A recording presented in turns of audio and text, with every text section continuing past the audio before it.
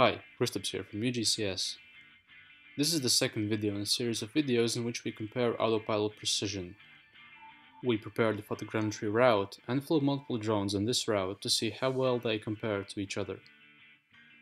In this video, we will look at how precisely DJI Naza-M V2 flew our mission. We used Google Earth for flight data comparison. So again, here I have Google Earth open with the original test route imported. And now let's see how well the DJI Naza-M V2 fared in the flight. First off, let's look at the stop and turn trajectory. As you can see, the DJI Naza-M V2 had some trouble keeping to the survey lines, especially in second and even the third segment. In the first segment, it flew more or less okay, even though in the corners it went a bit outside the bounds. In the second segment you can see how it diverged from the original flight path. If you remember our video last week from DJI Phantom 4, you can probably remember how precisely it flew according to the survey lines, and as expected the DJI Naza-M V2 has less precision than the Phantom 4.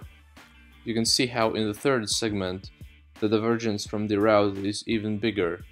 And now let's look at the bank turn trajectory. Here you can see that the drone managed to fly according to the survey lines more precisely.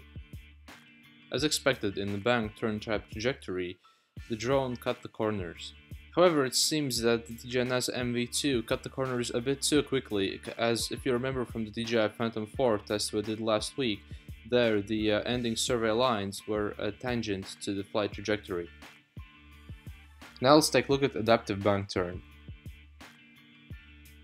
Here you can see it flew a bit more precisely. Again, the first segment is very on point. However, you can see a slight divergence in the beginning of the second segment.